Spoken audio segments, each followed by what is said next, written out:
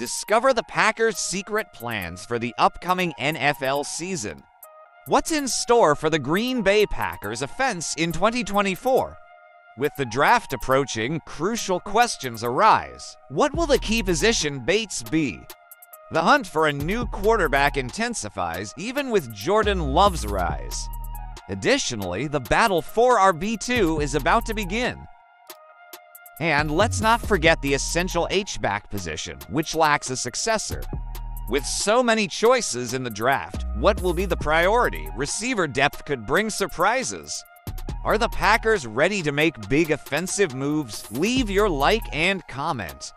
Subscribe so you don't miss any action this exciting Packers season.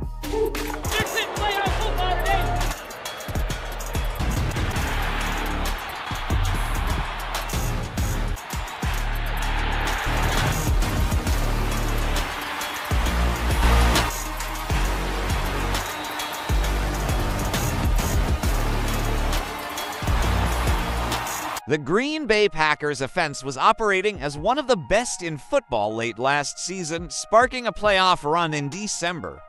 Jordan Love playing at an elite level, a strong running game, a diverse set of receiver skills, and a robust offensive line contributed to the Packers' late season performance. Looking ahead to 2024, expectations will be high for this unit, but like every team at this time of year, there are doubts. Here's the big question each of the Packers' offensive position groups faces with the NFL draft on the horizon. Will the Packers add a quarterback? The Packers will they sign Jordan Love to a lucrative extension this offseason, and according to all reports, the team is very happy with how Sean Clifford handled backup quarterback responsibilities last season.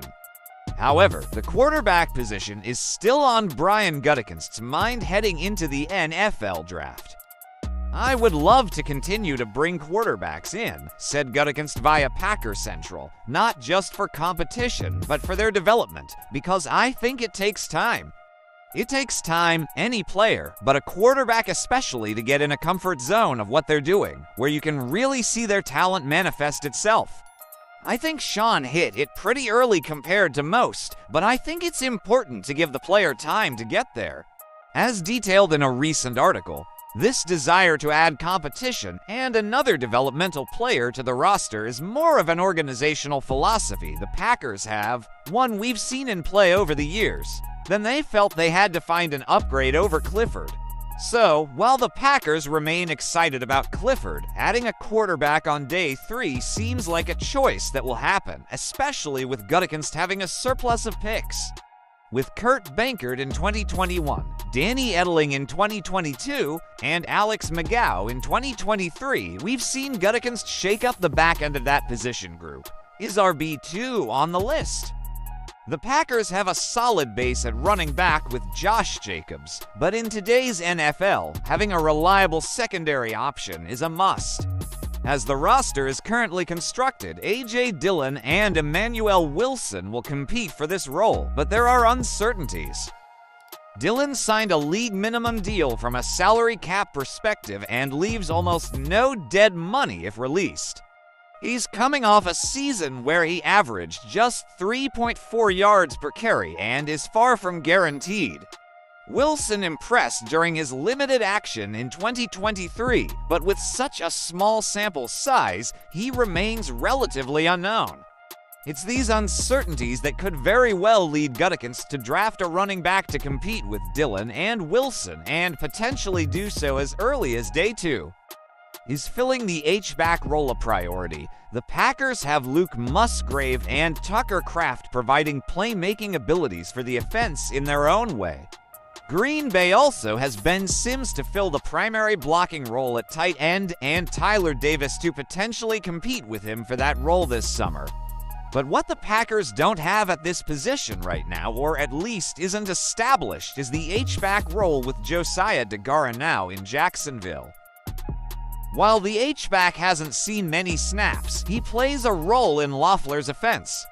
This player needs to impact both running and passing games and is a cog in what LaFleur calls illusion of complexity, In short, this element keeps defenses off balance and guessing, running a variety of plays from just a few formations.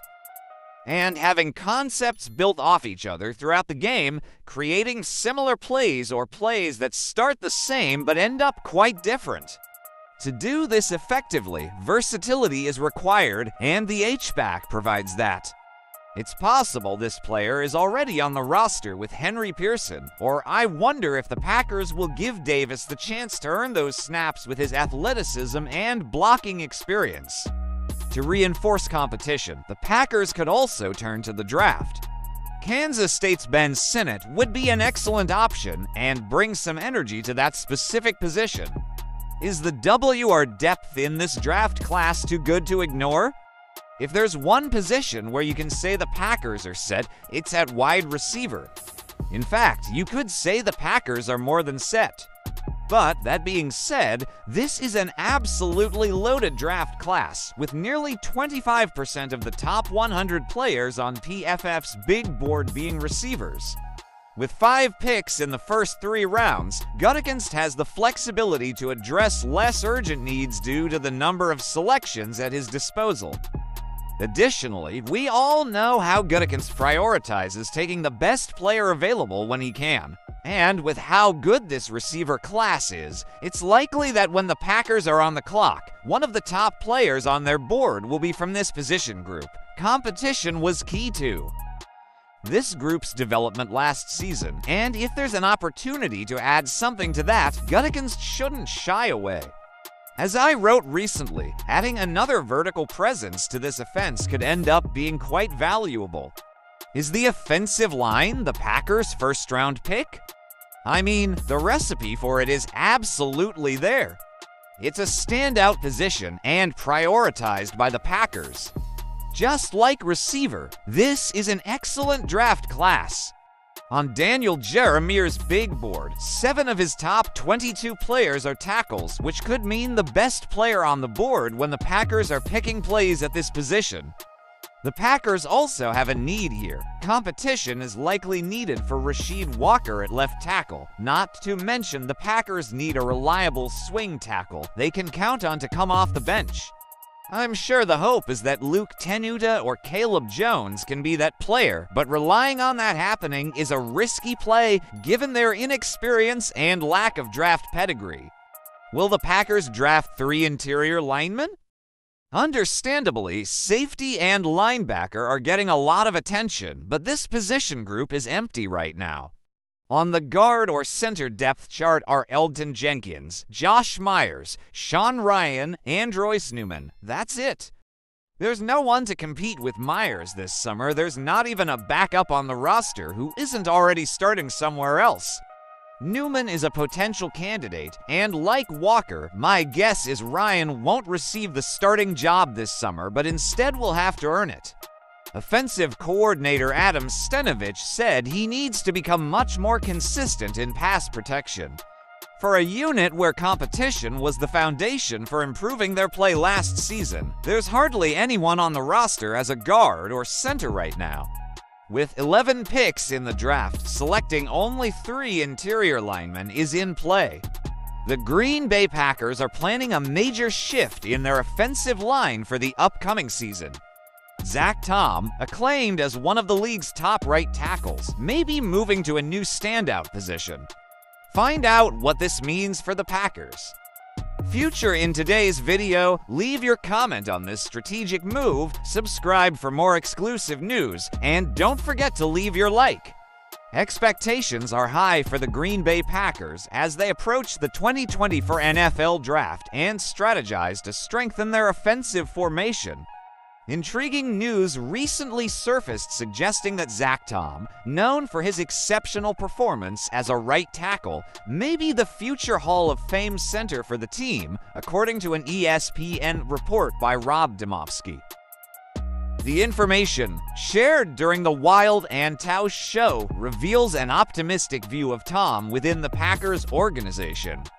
According to Demovsky, some believe Tom has the potential to become a Pro Bowl right tackle, an All Pro guard, and even a future Hall of Fame center.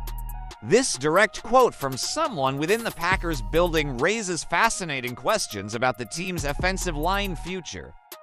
Zach Tom, at 25, had an impressive season as a right tackle last year, playing over 1,000 snaps with just two sacks allowed in pass blocking. His versatility is notable, having played multiple positions along the offensive line since his rookie debut. This ability to adapt to the team's needs provides the Packers with valuable flexibility to shape their formation for the upcoming season. Tom's potential full time move to center raises some important considerations. If this transition occurs, Josh Myers could be shifted to guard, competing with Sean Ryan for the position. Additionally, the Packers will likely explore their options in the 2024 draft with multiple picks within the top 100 in search of a new starting right tackle. However, there are inherent risks to this strategic change. Moving such a talented player like Tom to a key position like center implies significant adjustments to the offensive line's dynamics. The decision also raises the question of whether a Hall of Fame caliber center is more valuable than a Pro Bowl right tackle. Tom's story at Wake Forest, where he alternated between left tackle and center, highlights his adaptability and fundamental skills. The Packers selected Tom in the fourth round of the 2022 draft, demonstrating their confidence in the player's potential.